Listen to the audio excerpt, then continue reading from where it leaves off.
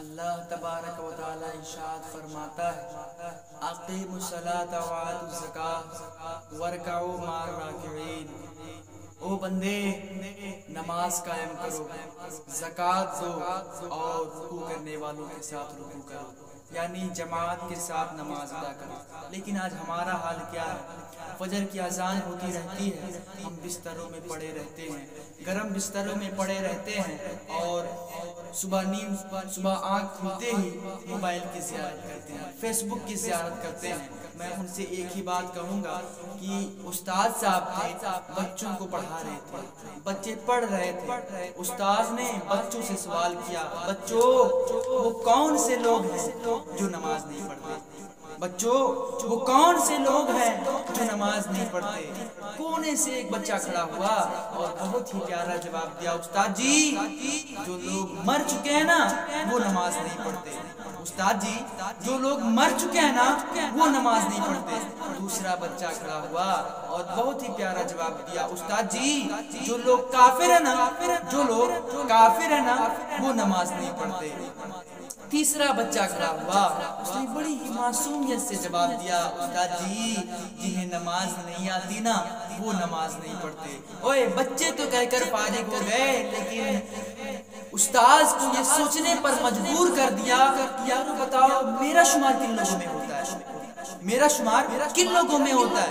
क्या मैं मर चुका हूँ जो नमाज़ नहीं पढ़ता? क्या मैं काफिर हूँ जो नमाज़ नहीं पढ़ता? या मुझे नमाज़ नहीं आती जो मैं नमाज़ नहीं पढ़ता? हज़रत मोहतरम, इसीलिए कहता हूँ कि कभी कभी अपने करीम रब की बारगाह में आ जाया करो। दो चार आँसू बहा लिया करो। तीन दोस्त बैठे रहते तीन दोस्त बैठे रहते हैं। उधर अजान होती है। तीनों में से एक कहता है कि, भाई, आप दोनों यही बैठे हैं, मैं नमाज़ पढ़ के आता हूँ। आप दोनों यही बैठे हैं। मैं नमाज़ पढ़ के आता हूँ। वो बंदा नमाज़ पढ़ने जाता है। ये दोनों बैठे रहते हैं। जो दोनों बैठे रहते हैं, उन्हें ये बात सुना एक गुलाम था और एक, उसका आका था। दोनों कहीं जा रहे थे। जो गुलाम था और एक सरदार था। जो सरदार था, मियाँ, वो बेनमाजी था। और जो गुलाम था, वो अल्हम्दुलिल्लाह पाँचों वक्त का नमाजी था। तो दोनों कहीं जा रहे थे तो चलते चलते गुलाम ने अजान की आवाज़ सुनी। अल्लाह अकबर। जब गुलाम ने अजान की आवाज़ सुनी तो उसने अपने आका से कहा कि, सरदार जी, मुझे कुछ समय का टाइम दें, कुछ समय का मोहलत दें, ताकि मैं नमाज़ अदा करके आऊँ। सरदार ने कहा, ठीक है मियाँ, मैं यही बैठता हूँ, जल्दी जा और नमाज़ अदा करके आ। मियाँ, अल्हम्दुलिल्लाह, वो, गुलाम जाता है और अच्छी तरह से वज़ू करता है और जमात के साथ नमाज़ अदा करता है। सारे नमाजी नमाज़ पढ़कर चले जाते हैं। वो बंदा वो गुलाम जो था, वो कुरान खोलता है और पढ़ने में मशगूल हो जाता है, पढ़ने में मस्त हो जाता है। बाहर उसका सरदार इंतज़ार कर रहा है। ओ, नामुराद, कहाँ मर गया? बाहर निकल मियाँ, हमें अभी आगे सफ़र करना है। जल्दी बाहर निकल। वो बंदा जो गुलाम था, वो कुरान खोलता है और पढ़ने में मस्त हो जाता है, किरत में मस्त हो जाता है। तो उसका सरदार था, जब इंतज़ार करते करते करते थका, पूछा कि लाओ जाओ, देखूँ कहीं मर तो नहीं गया अंदर। लाओ जाओ, देखूँ कहीं मर तो नहीं गया अंदर।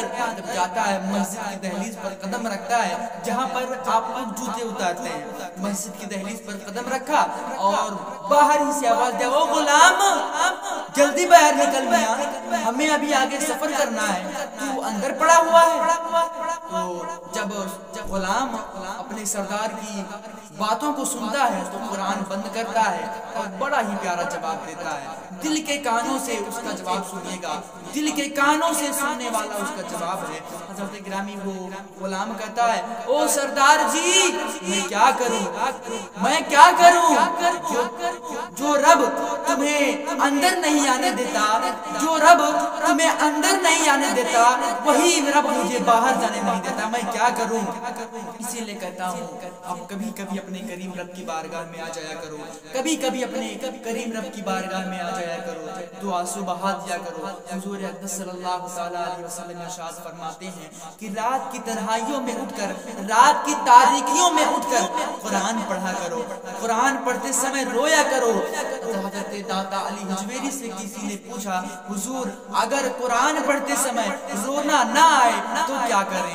तो आपने फरमाया फिर भी रोने की कोशिश किया करो रोने की कोशिश किया करो। तो, तो फिर किसी ने कहा हुजूर अगर रोना रोने की कोशिश करो फिर भी रोना ना आए तब क्या करें? कहा फिर अपने मुकद्दर पे रोया करो फिर अपने मुकद्दर पे रोया करो। इतने संग दिल हो गए हो कि तुम्हारी आँखों में दो आँसू तुम्हारी आँखें दो आँसू बहाना भी गवारा नहीं करते। इतने संग दिल हो गए हज़रत मोहतरम।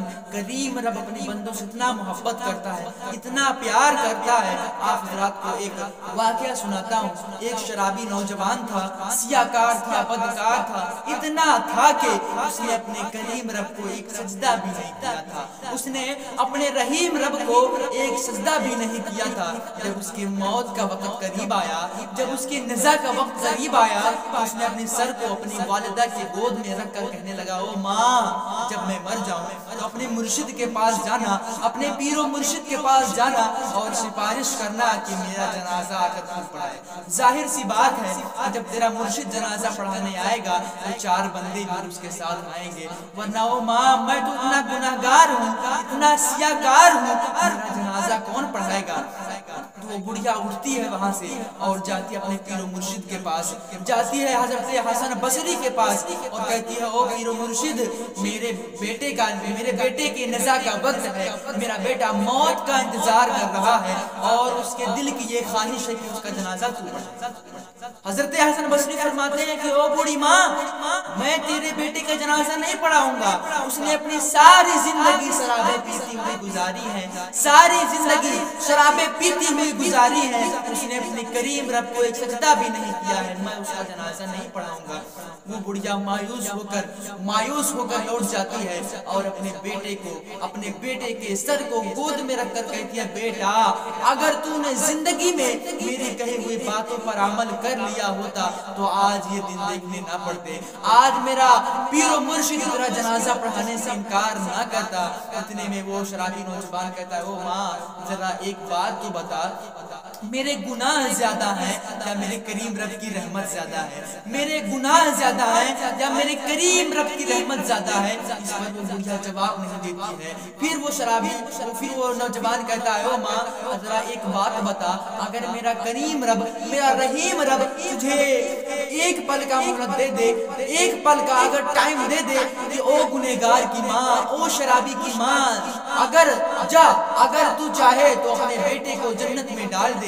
और अगर तू चाहे तो अपने बेटे को जहन्नम में डाल दे। तो माँ, बता, तू मुझे कहाँ डालेगी? वो बुढ़िया कहती है, बेटा, अगर मेरा करीम रब एक पल का मोहलत दे दे तो मैं जन्नत का दरवाज़ा खोल कर तुझे जन्नत में दाखिल कर दूँगी। इस जब ये जवाब नौजवान सुनता है तो तड़प उठता है और कहता है, ओ माँ, तू एक माँ है, तू एक माँ है, जितना मोहब्बत करती है। मेरा करीम रब जो सत्तर माओ से ज़्यादा मोहब्बत करता है, वो भला मुझे जहन्नम में कैसे डाल सकता है? हज़रत गिरामी, इधर हज़रत हसन बसरी रहमतुल्लाह के पास से जब बुढ़िया जाती है तो हज़रत हसन बसरी रहमतुल्लाह सोने का, सोने के लिए बिस्तर पर जा रहे थे। जब वो सोते हैं तो ख्वाब में क्या देखते हैं। किसी कहने वाले ने कहा कि ओ हसन बसरी, तू यहाँ सोया हुआ है, तू यहाँ सोया हुआ है, उधर मेरे यार का जनाजा पड़ा हुआ है। ओ हसन बसरी, तू यहाँ पड़ा हुआ है, उधर मेरे यार का जनाजा पड़ा हुआ है। मैं जल्दी जा और मेरे यार का जनाजा पढ़ा इधर वो नौजवान की रूह परवाज कर जाती है और बुढ़िया अपने बेटे के सर को गोद में रखकर रोते, रोने लगती है। इतने में दरवाजे पर किसी ने दस्तक दी। जब बुढ़िया ने जाकर दरवाज़ा खोला तो क्या देखती है? वही पीरो मुर्शिद है, वही पीरो मुर्शिद है जिन्होंने मेरे बेटे के जनाजे को पढ़ाने से इनकार कर दिया था। वही पीरो मुर्शिद मेरे दरवाजे पर आए हैं। देखकर कहते हो, पीरो मुर्शिद, अभी तो आपने मेरे बेटे के जनाजे को मेरे बेटे के जनाजे को आपने पढ़ाना।